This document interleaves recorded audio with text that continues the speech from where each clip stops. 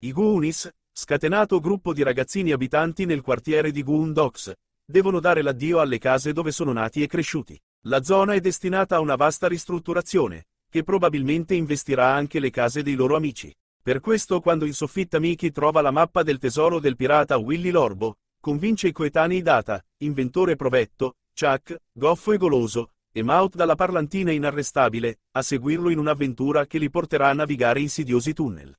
Braedon e due ragazze della sua età, Stephanie e Andrea, li accompagnano cercando di proteggerli, ma sulle loro tracce c'è anche la pericolosa famiglia criminale italo-americana dei fratelli.